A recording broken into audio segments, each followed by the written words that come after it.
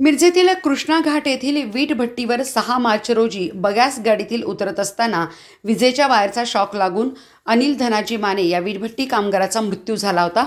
या कामगाराच्या मृत्यूप्रकरणी संबंधित वीटभट्टी चालक बगॅस ठेकेदार यांच्यासह संबंधित सर्वांची चौकशी करून दोषी असणाऱ्या सर्वांवर गुन्हे दाखल करावेत अशी मागणी संघर्ष सफाई कर्मचारी संघटनेचे अध्यक्ष डॉक्टर महेशकुमार कांबळे यांनी लेखी स्वरूपात अशी तक्रार मिरज शहर पोलिसात केली आहे.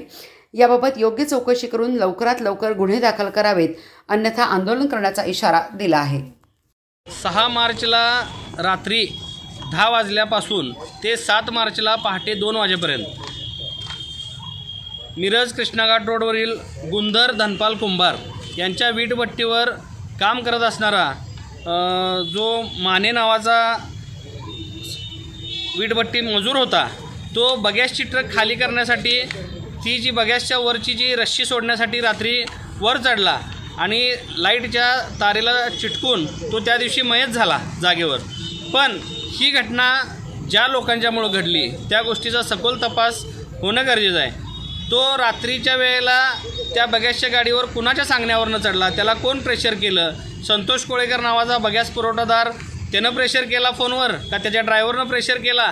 का त्या कुंभार नावाच्या वीटभट्टी मालकानं प्रेशर केला.